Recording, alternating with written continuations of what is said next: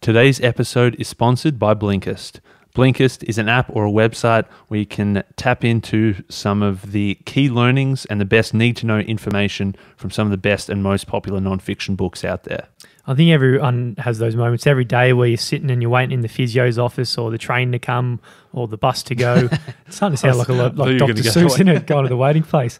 But uh, Blinkist really does help those times become productive rather than just going on Facebook or Instagram or checking your notifications and friend requests on LinkedIn. You can actually access the best need to know information from the best books of all time. So I've got it in my schedule and my routine. We recommend that you do it too. And you can test it out all for free with a free seven day trial. And we've arranged a special deal for just the What You Will Learn audience. So if you want to check it out yourself, head to blinkist.com forward slash what you will learn. That's Blinkist spelled B L I N K I S T dot com forward slash what you will learn for your free seven day trial.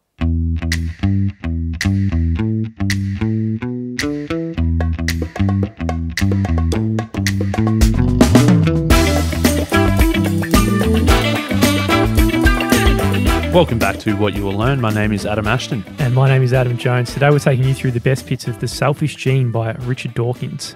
Richard Dawkins, a big man, wrote this bad boy Uh, 40 or 50 years ago, and probably one of the most well known science books, especially on this evolution going around. It's held up very nicely, even though it's 50 or so years old. In terms of evolutionary biology, I think this is the number one most influential book ever written. He calls this the selfish gene, and critics of, of the book and of Dawkins spin that out and say, oh, you're just saying that everybody's selfish, that everybody's just out for themselves. But Dawkins is saying, no, the genes are selfish in the sense that they're out for themselves. They want to propagate themselves. The genes want to live on and pass on their own genes. But he's saying that not necessarily humans are selfish in that sometimes it's actually a good strategy for the gene if a human is altruistic. So, in this episode, we're going to cover the huge scope that is in the selfish gene. We're going to look at how something as simple as hydrogen at the very start of the universe evolves into something as complex as you as a human being. We can understand how survival machines compete with one another for scarce resources and all sorts of strategies that are contained within the different sexes. And as you were saying there, our show all about altruism as the strategy. And then at the end, we're going to look at it from a marketing point of view, taking the analogy of the selfish gene and see how ideas evolve through culture. So, in the beginning, before our species or any other species was roaming this planet, there was ultimate simplicity. Everything was very simple, and it was through a long evolutionary process that we got to the level of complexity we're at today. But all of this complexity started with initial basic simplicity. Yeah, things were very, very basic, right? At the very start, you just had a bit of hydrogen as the only atom in the universe. So over time, things gradually went in the direction of stability. And hydrogen itself is not a very stable atom. It wants to change into different things and become more stable. And the way it does that, it brings two or more atoms together to form different molecules. So we might we might call this like a little cocktail shaker. You mix up a bunch of stuff, you shake it around, and when they settle down, the things that are going to survive the longest are the ones that are most stable. As you said, hydrogen is not stable, so it clings and latches onto other different atoms, and together they form a new molecule that is more stable. So these new molecules, they keep getting shaken in this cocktail shaker, and even more complex and more stable molecules arise. Eventually, you might have things like hemoglobin. And when a group of atoms in the presence of energy falls into these stable patterns of ever more growing complex molecules, they tend to stay that way.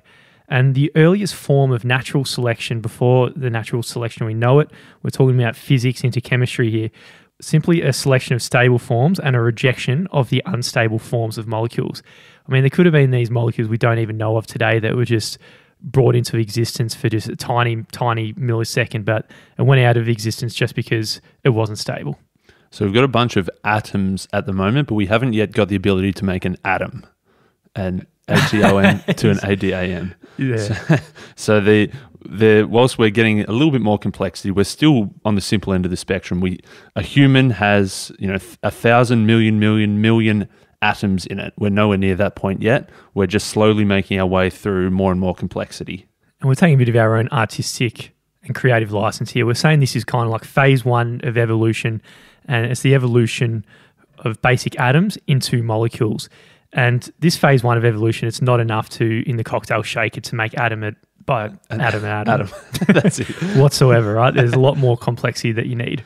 In the next phase of this development towards complexity, we know that we've got all these raw chemical materials floating around. We've got things like water, carbon dioxide, methane, ammonia. And what chemists have found now is that if you put some of these together in a flask and you add energy to it, you can create new things. So this is sort of what was happening. We're getting shaken up. All these things are mixing together, and with a with a bit of energy, then we can form things like amino acids. So these amino acids are what the scientists say today. They're kind of like this primeval soup. You think about this soup as being something that is full of all kinds of building blocks that uh, allow for organic substances. And three to four thousand million years ago, which is what three It's to four long, long time ago. Yeah, billion years ago. yeah that's an easy way. to Because they didn't it. used to say billion a little while ago. But this is what was happening on the Earth. So you had basically had these molecules supplied by energy, and on Earth, this energy and molecules created these amino acids and this primeval soup. And one thing that just happened, as we said, there's a whole bunch of different stuff happening, and just by by chance, effectively, a molecule was created that could then recreate itself. And and Dawkins calls this a replicator. So the replicator was a molecule that just by chance was able to recreate a new molecule that was the same as itself. So this seems pretty arbitrary and improbable and almost impossible, right? Like, but if you think about it, we're talking over the scale of billions of years. I mean, me and you, we're only here for 100 years. We're talking a scale of, I don't even know the math, but it's a ridiculous A amount of lifetimes, right? So there's all kinds of different combinations that these atoms could create and these mm. molecules could create with this energy. They might have come up with a million different configurations, but by chance, just one of those configurations mm. had to be something that replicated itself for us to take us to the next step. Yeah, he says it's like if you bought a lottery ticket every single week for a billion years, there's probably a good chance you're going to win a couple of jackpots. So it's just by it's just by chance and just by probability that one of these little molecules could pop out and then create an, another version of itself. So this kind of molecule had to just come up once, because once it's come up once, mm. it's going to repeat Makes itself second one. and it repeats itself. And at the very start, it's using this primeval soup to get its nutrients and resources to actually replicate itself. So you got one type of replicator who's got pretty much an infinite food supply at the very start to go from. So just to reset, so we start with the the atoms. They get mixed around in the cocktail shaker to form more and more complex molecules. And then in the second phase, we had one molecule that was able to replicate itself. So as we said, there's this big soup, a lot of energy, a lot of nutrients in there. This replicator's eating it all up and creating new versions of itself. And the next phase is you got replications, but there were slight errors. So the molecule replicates itself, but it's ever so slightly different to its original self. So all of a sudden, we've got this big primeval soup bowl, and rather than just containing one type of replicator, it's got a variety of replicators because these replicators weren't perfectly replicating themselves. Hmm. Those slight variations meant there was slightly different characteristics between all the replicating molecules. And now Dawkins was looking at this and thinking, so you've got a, a whole bunch of different replicators that are all replicating themselves, but it's not possible that they can all be there forever. There's there is a finite amount of, of nutrients and energy going around. So some of these replicators are going to be more successful than others. Some of them are going to be more likely to survive than others. And he gives a few criteria for the ones that were the most likely or the most advantageous to survive. The first characteristic is longevity. If you think about it, if you got like one replicator that pops up and it pops straight back out of existence, it's not going to, No. by definition, it's not going to be there for long. If the replicator, on the other hand, had the ability to survive a very long time, then obviously that's going to be more abundant in this soup. The second characteristic is the speed of replication. So if you think of it, if, if one molecule replicates itself once every day, and then you've got another replicator that replicates itself once every hour, the one that is able to replicate itself quicker is obviously going to become far more abundant. The third characteristic it evolved was the accuracy of replication.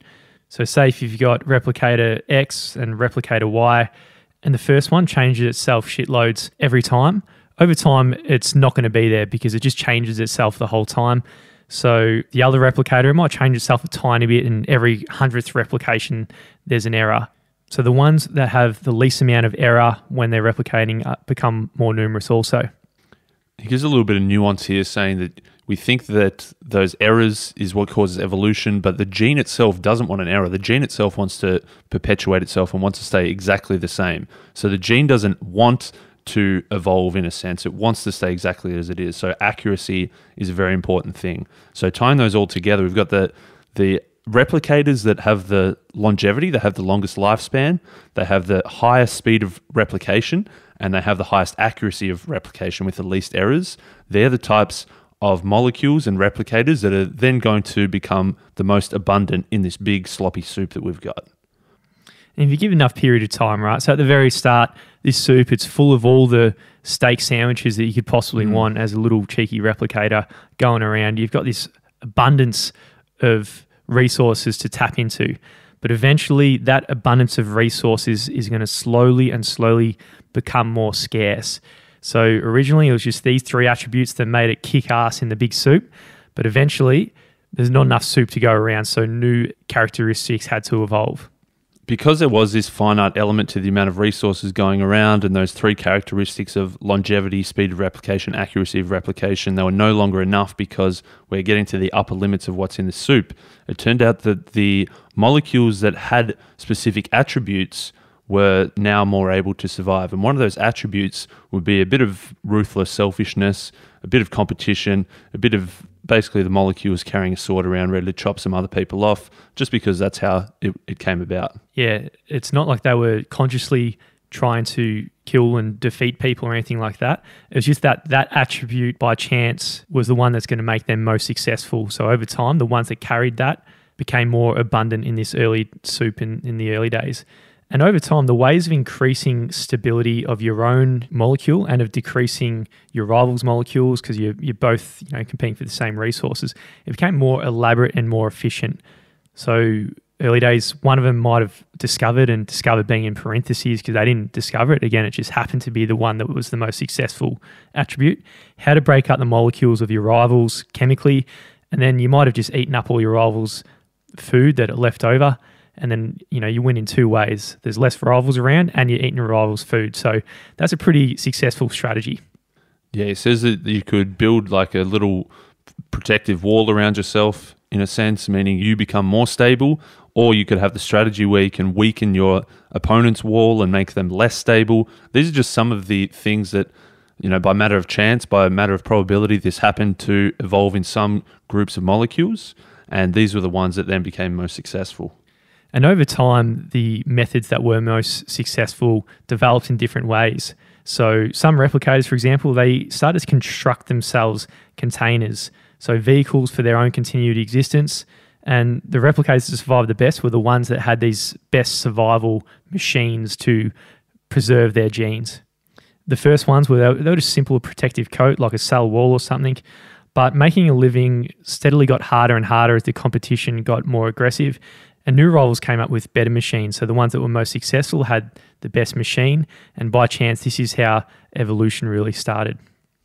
So the question here is with these small gradual improvements from the, the cell wall to building up a, a, slightly better machine or vehicle to carry yourselves in, he calls them the survival machines. They're getting bigger and more elaborate, but we're still talking about the cell level here. They're, they're, they're tiny, tiny things at this point. But over time, over the span of billions of years and billions of billions of, of replications, what actually happens to these survival machines? What happens to the genes within themselves? What other uh, strategies develop as a way of perpetuating the gene? Given a long enough period, these survival machines they created it went from being simple cell walls to things as complex as we see today. The animals we see around your your pet dog, your elephant you see at the zoo, the bird in the air, the whale in the ocean. These are all the survival machines that were created by these replicators. So the replicators today go by the name of genes. So what he's saying here, Astro, is you, you're just a big lump of selfish genes. Your whole purpose of existence is to replicate genes. How does that make you feel? That's it. The genes are the replicators, and we're just their survival machines. And it was just the, the strategy. That was the winning strategy. The the best way for the genes, the replicators, to perpetuate themselves was to create humans as a survival machine. So it seems something that's kind of devoid of purpose, and you see why uh, it, this goes against a lot of the stories of religion. The the purpose of human beings is for you know a much greater thing as opposed to just the survival of genes. You might think that you woke up this morning, you had your coffee, you're listening to this podcast now, you had breakfast, you chose your job, you're, you're just living your life. What the hell does anything like this have to do with genes? As if you're just a survival machine for these arbitrary, tiny little things that make up your body. Of course, we all like to think that we have uh, consciousness and we all like to have free will and we have our own choices to make and we're not really dictated by these genes. It's not that everything we do every single day is is for the sole purpose of replicating our own genes. But Dawkins used the analogy of like a, a chess computer, in that a, a computer can beat the best human grandmasters in chess, but the computer in the beginning was programmed by a human, but it's not as if the human right now is still running that computer. Yeah, let's say if you got Susie, she's a computer programmer, and she's trying to make up a program for a computer to just kick ass at chess. And at the very start, she's writing all these different strategies and algorithms and all kinds of math to give it the best shot when it's unleashed to go out and beat human grandmasters and it's on its own. And now it's out on its own, it's playing chess. Susie can't jump in and just mm. start manipulating with the, the game. It's, it's on its own at this stage. So in the beginning, Susie did her best in setting up the computer in the sense that it told it the starting position, it told it the goal or the objective at the end, how to win, and then it set up, you know, the basic moves, what can each piece do, and it can give it a few sort of optimal strategies. But because there are more possible games of chess than there are atoms in the galaxy, she can't tell it exactly what move to make in every single situation. She's basically giving it the basic ground rules and say, hey, here's a strategy. And then after that point, the computer's on its own. So the analogy here, Susie's your gene, right? So the gene is making all these algorithms in economically expressed terms to give you the best shot at replicating its genes. And when you're out on your own, you're out on your own now based on algorithms that have been implanted in your brain uh, from the genes design. So the genes effectively created our brain. At this point, our brain is making the decisions in a sense, but the decisions we're making is based on those initial guiding principles that were installed at the very start. We've got the program running in our brain. That program is coded by the genes, and the gene said, Here's the end goal, here's your objective, here's a few basic strategies from this starting point, here's what you should probably do. The genes can't jump in at any point and say, uh, No, don't do that, you should be doing this instead. The gene has just set us up, and now we're on our own. Yeah, about three weeks ago, I got Subway and uh, was at the time you couldn't eat inside the subway venue. So I went to eat out, out in a in a park bench, and for some reason, I think a lot of birds at the moment they're getting all a bit ramped up, and they were pretty wild that day. And there was this one eagle just looking at me eating my subway. And no, I, don't think it was an eagle. A crow. A crow. Okay, yeah, could be. Yeah, maybe Eagles. a pigeon or a seagull. No, it was, no a crow. It was, a, it was a, crow, crow or an eagle or. It wasn't know, an eagle. I want to make it look uh, less, make myself look a bit tougher than I probably was actually. But yeah, this crow was kind of and it was staring at me in the eye, and I was like, surely not. It's not gonna. it's not gonna do anything. But it, it, leapt up off the tree and just started just straight at my face to go up my subway, right? And in that moment, my brain just like cracked into gear and dropped the subway on the ground and just ran away and just oh. let and let this crow happen. It was on the middle of Clarendon Street, so there was a lot of traffic there. Fight or flight, and you you you flew, you took off. Well, that's right. You didn't fight back. That's exactly right, and that's that's the brain having an economically expressed rule. And in the case of here, what the gene's done, it the gene itself doesn't have a reaction time like that, but it's programmed something in the brain when an eagle or something is coming at your subway. Just just drop it, and without yourself knowing it, you've moved on, and you're surviving that. And yeah, correct. Well, there the might be times where uh, if the if the eagle's coming at, there might be times when I have a go at fighting back against that. I'm going to call it an eagle. Yeah. but uh, it's probably like a little canary or something. Yeah, something pretty harmless. Exactly. If an eagle's going at some of a, a, baby or something of mine that's carrying some mm. of my mm. genes, then all right, we, we're on here. Yeah. But Subway, you know, I could go back, order a new sub not worth the risk. yeah, exactly. And so the gene has set you up to survive. You've you've made all the trade-offs without even realizing. You've made all these trade-offs in your head. You've weighed up all the costs and all the benefits, all the risks involved, and you've thought the subway can the subway can go to the ground as long as this uh, crow doesn't attack me. So the the king eagle of the jungle, the biggest eagle that's ever been in Melbourne.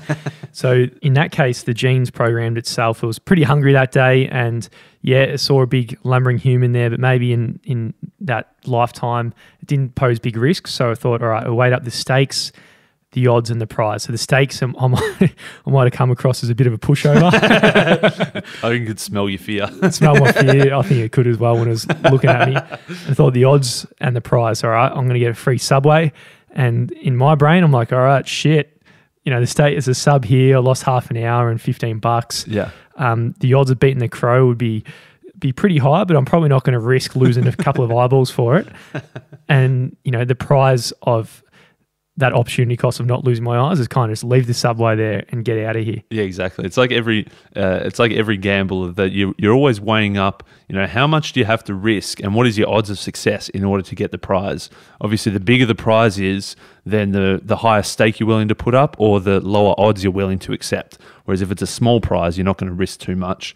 For the uh, for that tiny little baby crow who just popped out of the egg that was was ready to attack you, then uh, the maybe you know there's no one around the city at the moment. There's probably not too many people walking around with their subway. Maybe it hasn't eaten for the last two days. So for the baby crow, then the prize was extremely high. For you, the prize is pretty low because you can just go and get a new subway.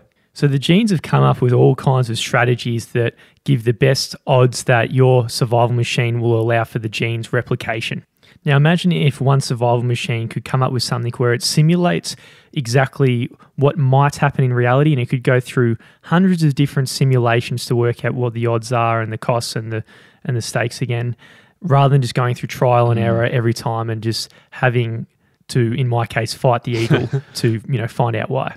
The trial and error is a is a pretty risky strategy because if you uh, if you weigh up the stake, the odds, and the prize, and you think, yeah, I'll have a crack, and you make that bet, if you lose, you're cooked. Your genes are done. So it's obviously much safer and much quicker for you to actually simulate rather than take the risk and do the trial and error. If you can simulate all those possible outcomes, it's a much better strategy. Now, the survival machine that comes up with this strategy of simulation probably is going to be the most successful survival machine on the planet. Mm. And what Dawkins is saying here is us human beings, we were the first survival machines to come up with this strategy of simulation. And what he's referring to as simulation here is what we now today know as consciousness. It's a pretty speculative bet, isn't it? That it's a thing to say that consciousness is purely a strategy created by the gene to replicate themselves. It's a big call. It's a big call. But if you think of it, say there's a, a little a, a deer living in the woods and it wants to go down to the lake and get a drink. It's very thirsty, but it knows that there's predators. There's a big lion lurking around the watering hole if you know one strategy might be to wait really really long and hope that the predator goes away. One strategy might be to run and get a quick gulp and run back because it knows that if it if it just goes down there and keeps its heads down and have a, has a long drink it's probably cooked. But you know that every time it does that little trial and error there's a big risk it could get wiped out. Whereas if well, for us humans we're able to simulate all those different outcomes. If we can think far ahead, if we can think, here's option A, option B, option C, here's the risks involved, here's the prize at the end, here's the stakes, we're much more likely to survive than the, the deer who's about to get eaten by the lion. You might be thinking right now, all right, I'm not purely selfish, right? Like I'd, I'd probably die for a few members of my family, or I might, or my mother would definitely die for me, especially when I was an infant. So, how does this explain through selfish gene theory? So the the book, the title that people like to spin, you know, the selfish gene, saying everybody's just selfish out for themselves. That's not true. The genes are selfish. That doesn't necessarily mean that us humans have to be selfish. And in fact, in some cases, being altruistic and helping other people is actually a very good strategy. So our genes uh, have as you know, using us as the survival machines, we've developed some great survival strategies. One of these being what he calls kinship or altruism. So you think about it, you're a gene who's programmed a survival machine. The same genes that are in you are in some of your relatives and kins. For example, your brother or sister share half your genes because when your parents got together and they made sweet, sweet love, they share the genes to create the kids. So you also share half your genes with your mother and half your genes with your father. Go another layer beyond that your grandparents you share a quarter of your genes with, and then Your uncle, it is a quarter. Your cousin, it's one eighth. And then you get to about the point of the third cousin, which is sharing about one 128th of a gene. Yeah, so by that logic, because our genes want to survive, we recognize that we're closer. There's more of our genes inside of our, our brothers and sisters and our parents. There's still a, a pretty high amount of genes in our in our grandparents and our uncles and aunties. Our cousins are pretty close as well. By the time you get beyond that third cousin, there's probably less of a less of a kinship there.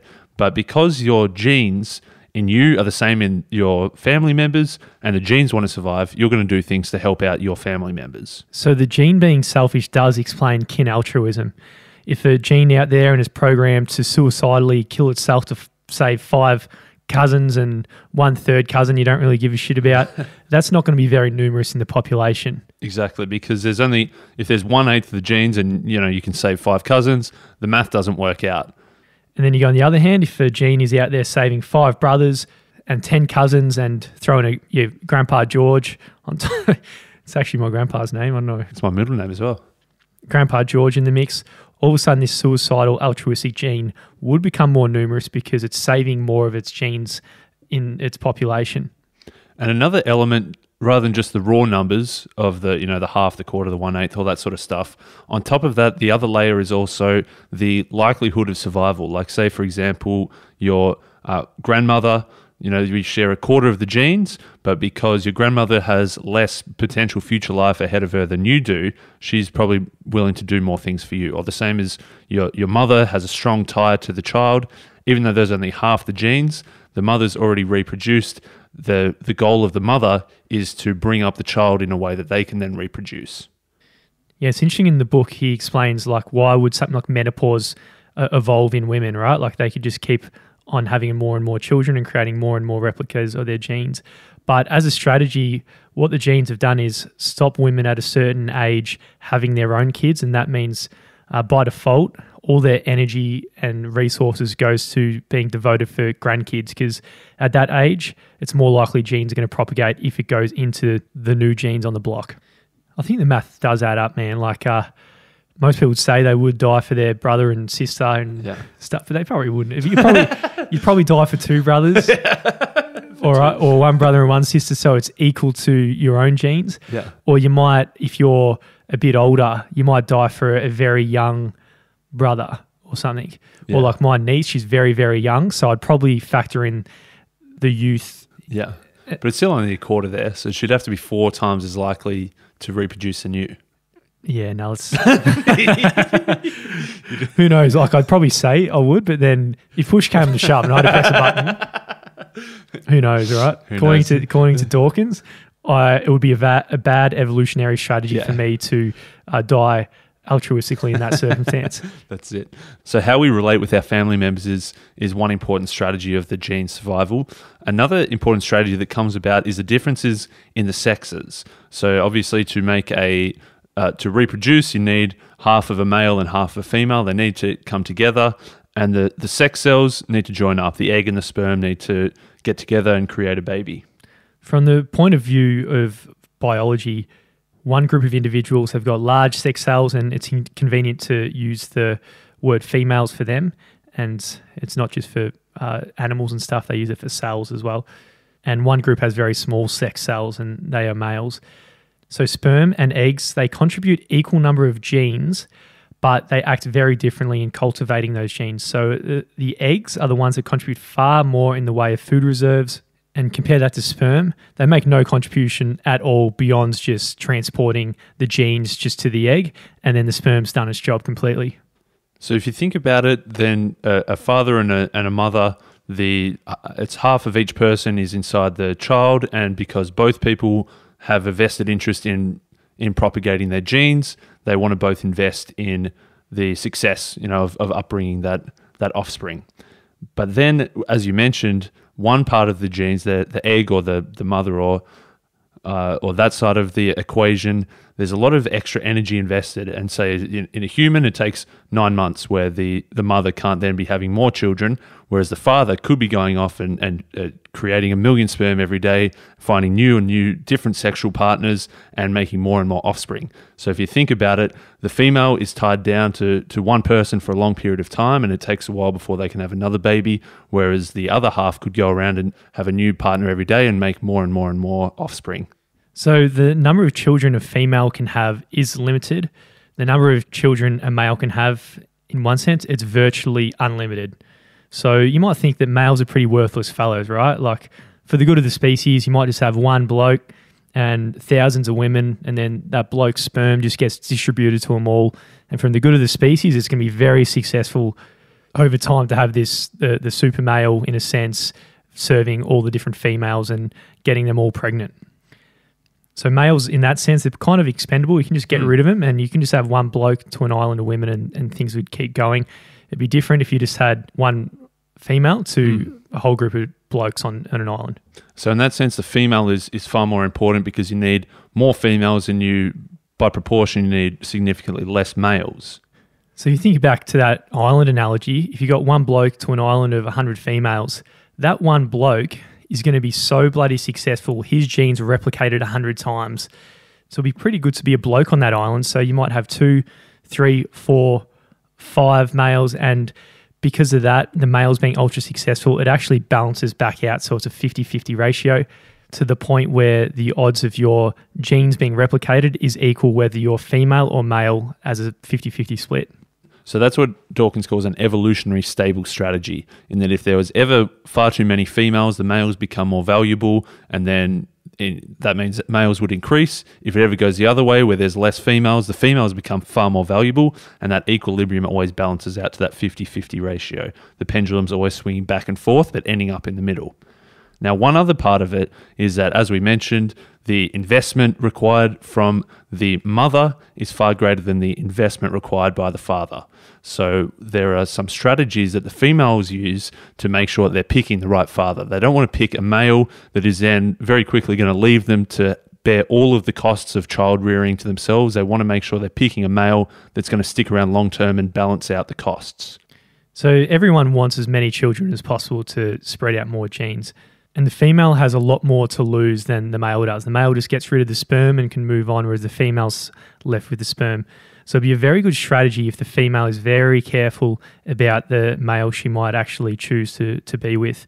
So at the very start, she might go through periods of time to kind of test the male's willingness to hang around and his domesticity.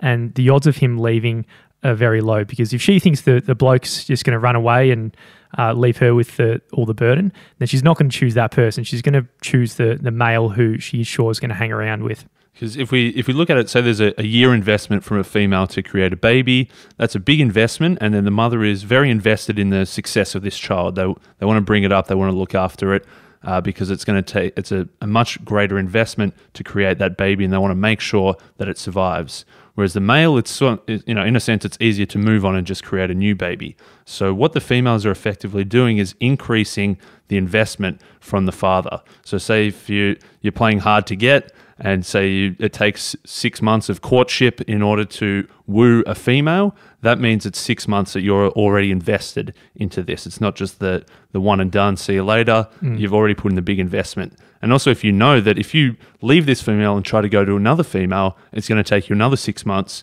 you already know that there's a big investment required in order to get that child. Yeah, so this female coyness, it's common amongst all animals, and it explains a lot. I think if you if you're single and you go to the bar as a as a bloke, and usually the blokes just they just go straight up, right? Like you, a lot of the time, you for most blokes out there, the barrier to choosing a sexual partner is a lot lower, I'd say, than a lot of females. For a lot of females, they're a lot more careful about who they choose to go home with for very good reason. but I think it is explained a little bit by this evolutionary biology. Obviously, that's a uh, very heteronormative approach for us to be taking, but we're just talking in the, the scientific evolutionary side of things when we're talking about the, the male and the female and the and the, the coming together and creating new life and stuff like this. And as we mentioned, that the female strategy there is to to play a little harder to get to make sure that she is selecting the right father. And now the males have also developed strategies as well. And it turns out that aggression is one of these important strategies for males to cultivate. So remember, females are the things that are scarce. Males are the ones that are expendable. So between males, aggression might arise just so they kick the other male's ass and then they end up sticking sperm in the female's egg. that's a crass way to put it, but that's I guess that's what it is at the end of the day. Happens, so because the males need to compete with other males in order to show their worth to get the females. But if you just think that it's all out aggression, all out attack, and males are always fighting each other, one of them is going to come off second best, or potentially they both will. If it's a fight to the death and one person's gone, or if it's a, a battle that's very close and both come off significantly injured, that means aggression is is a good strategy in some sense, but it's not always a good strategy for everybody to be aggressive all of the time. Yeah, in one sense, you want to get rid of the other other blokes, so all the females are left with you. But in the other sense, you don't want to go and just get in a fight where you're just going to risk your own death because you're going to lose your gene again. So it gets pretty complex in terms of a cost benefit calculation mm. about how you handle aggression. He gives us the idea of the hawks and the doves. So let's say the hawks are the aggressive types that fight, and the doves are the more calm types that don't want to fight. He actually did a little side note saying doves are fucking aggressive as fuck, but everyone thinks doves is nice and peaceful. So let's let's continue that analogy. So he says if a hawk meets a dove, the hawk knows it's going to fight. The dove knows the hawk is going to fight, so the dove is going to quickly run away. Neither of them gets hurt. If a hawk fights a hawk, so two fighters come together, either one of them is going to die or they're both going to get seriously injured.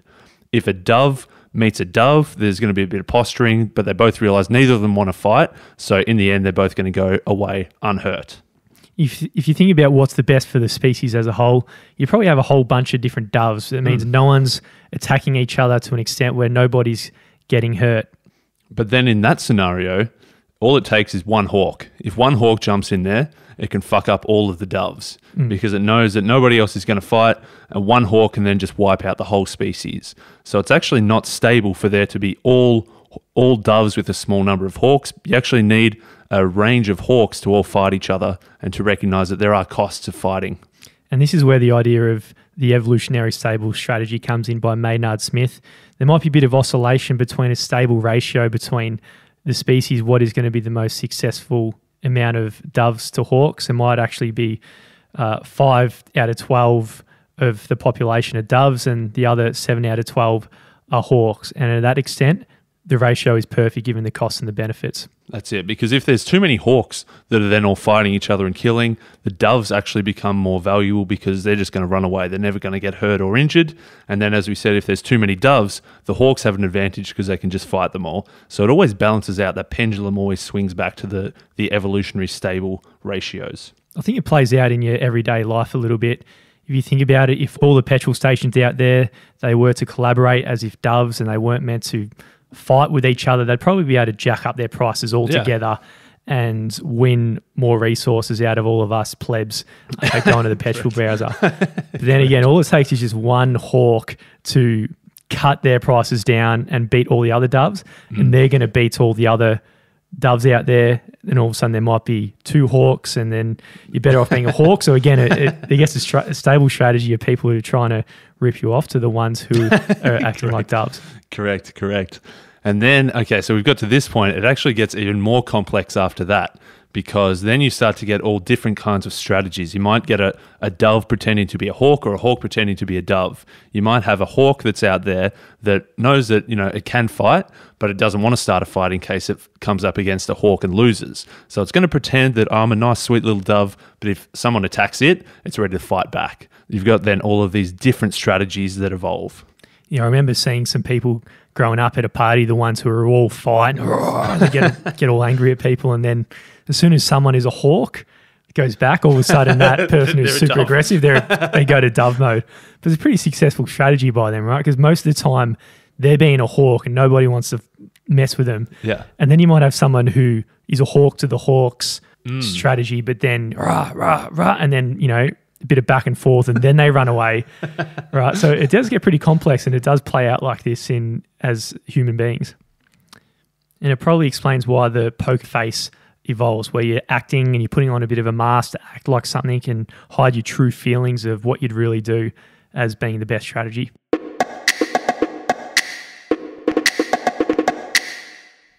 So we've been talking about only one specific type of replicator up to this point, and that is the gene. We've been talking about how the genes replicated, how they built survival machines, us humans, to uh, to propagate themselves, and then the different strategies that evolved of genes. Now, taking this idea and this application one step further, there's actually a new kind of replicator that has evolved on planet Earth. It's something that's staring us right in the face. It's still in its infancy and it's sort of drifting around in its own kind of soup, but it's achieving this evolutionary rate of change that's actually even quicker than the original replicators of the genes. The soup that we're talking about is human culture, and the replicator is the meme.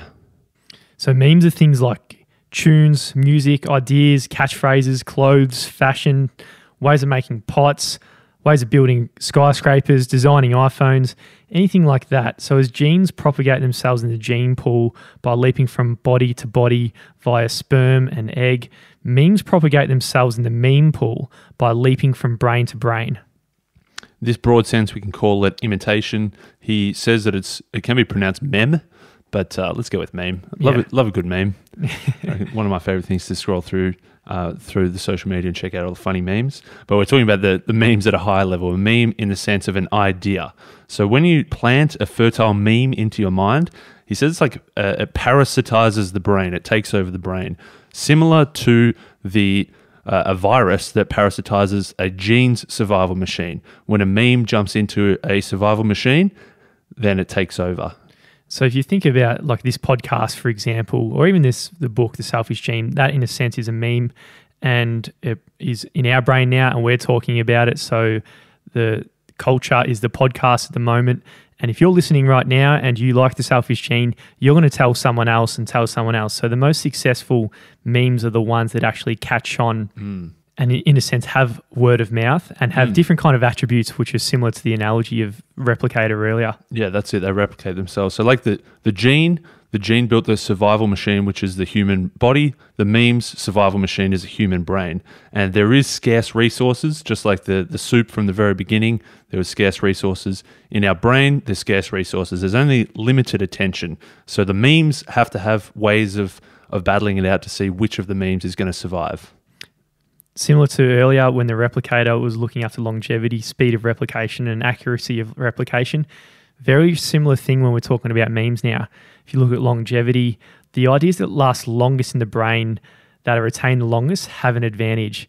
So it's a little bit like the old uh, Lindy effect. The ones that last mm. the longest and are applicable across different periods of time, they're the most successful. The ones that are like little cheeky fads and fashions that pop up once and never come back, obviously mm. they're not very successful memes. Exactly. And same goes for speed of replication. So similar with the genes, the same thing with the memes. If it can spread quickly from one brain to another, that meme's got a great advantage and is going to be far more likely to survive.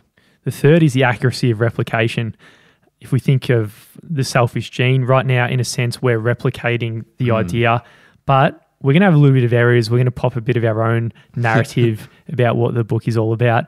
And if we change it too much, that meme's not going to be f- successful. So it's kind of like when you package an idea or anything like that, you need to make it very easy for the next person to pass it on. If it isn't very easy to pass it on and they change it a little bit every time, that's not going to be a good meme if you think of uh, one massive meme from about a decade ago, and that's a big man Psy, Gangnam Style, man, that spread like wildfire. The speed of replication of that was uh, seemingly exponential. But if you look at the longevity, it hasn't survived that well, has it? Mm, sort of broke down a little bit.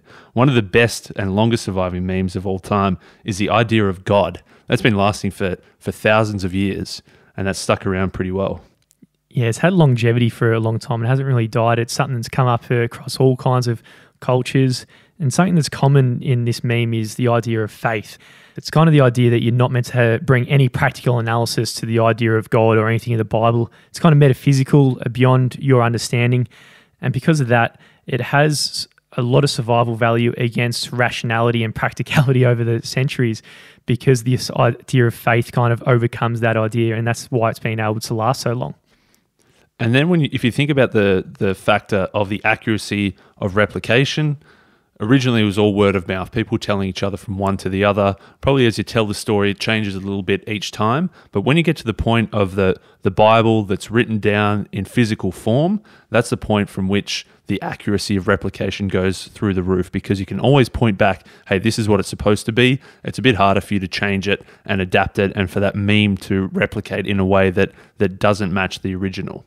Yeah, there's been a little bit of a translation over the time of the Bible into different languages and all that, but it's still kind of written in this old, authentic style that hasn't changed too much. We don't like change it to suit the the way we speak today. It's still that thy, thee, da, da, dee, da. Johnny did this, they are, they got an, extra st, an extra st there, and yeah, does, they don't translate in that sense. So its accuracy of replication has been very high. Then you think of speed of replication.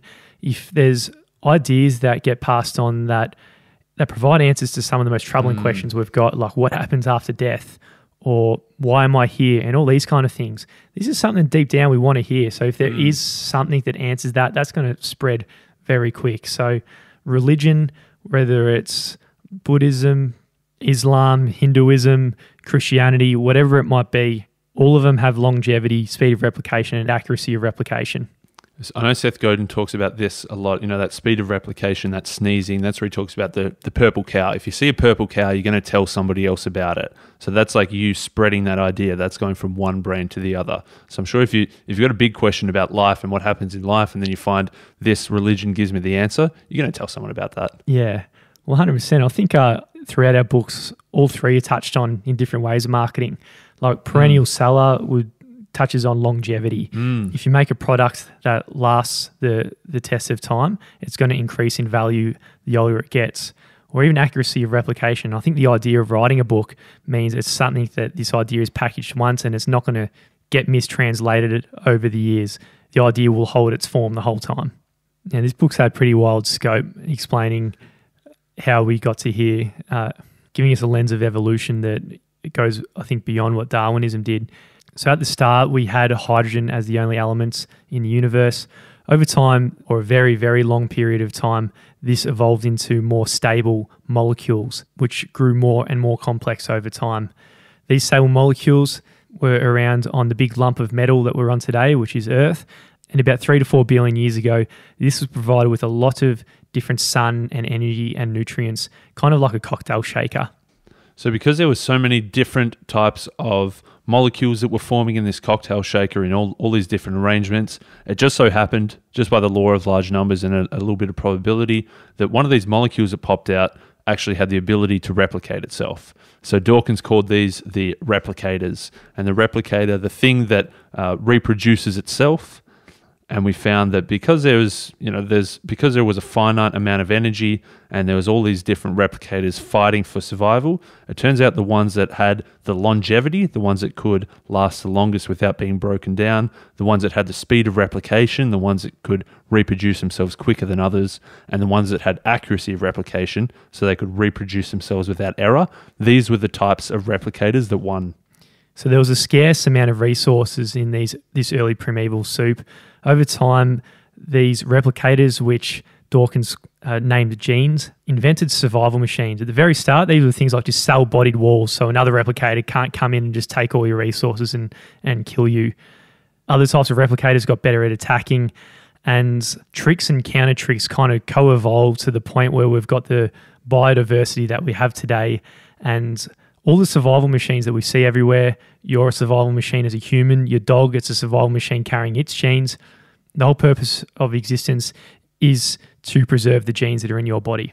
So if we look at ourselves as a survival machine now and we think, well, who's in control? Is it the selfish gene that just wants to propagate itself, or is it us as the survival machine making the decisions? And Dawkins used the idea of the chess computer.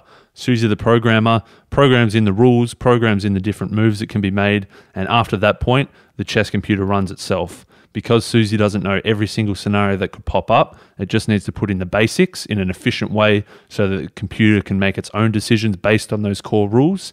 Similarly, for us, our genes have programmed us, our human brains, in a way that it says, hey, if you see this, then do the next thing. The genes can't predict exactly what's going to happen, but it's just given us these ground rules, and then we're on our own after that.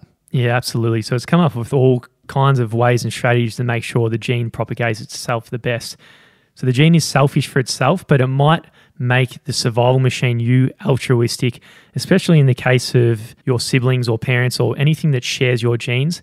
The most successful gene might be the one that commits suicide in service of more genes in the other survival machines, which is pretty funny. And remember that this is like all all bets. Everything you do, you're weighing up the, the costs and the benefits. You're weighing up the stake, the odds, and the prize.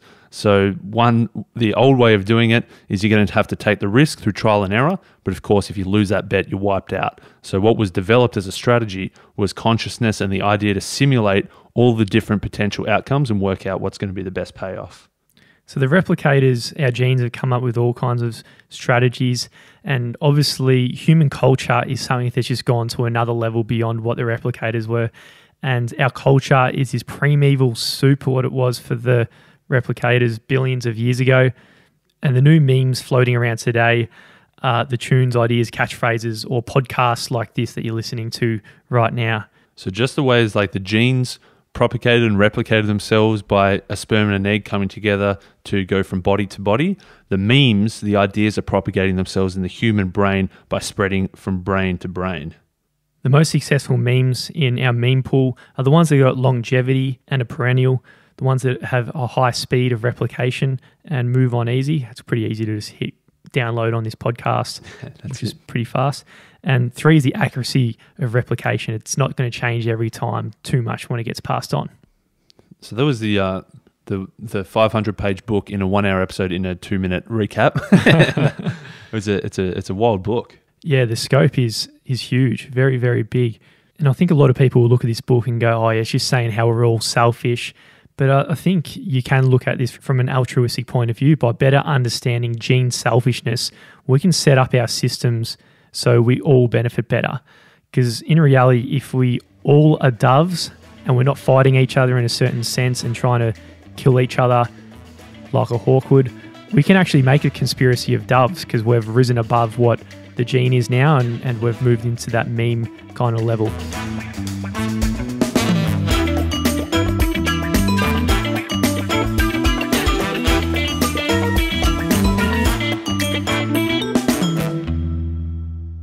If you enjoyed that episode, The Selfish Gene, and you want to help us propagate this meme, go out and share this episode with your social network and tag us in.